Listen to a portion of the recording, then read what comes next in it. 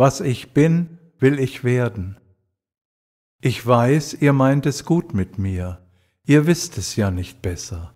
Nach eurem Bilde soll ich dies, soll jenes werden, möglichst stark und möglichst groß, und soll mich sputen, soll mich erden, damit der Stress mich nicht gefährden und auch nicht niedernagen kann.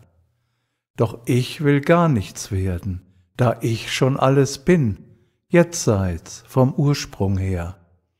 Es reicht mir, wenn ich auf der Erde, was ich schon immer bin, werde.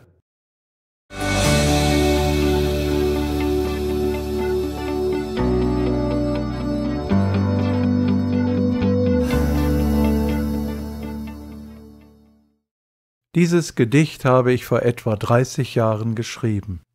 Seitdem bin ich immer mehr geworden, der ich schon immer bin. Aber mein Werdeweg geht noch weiter.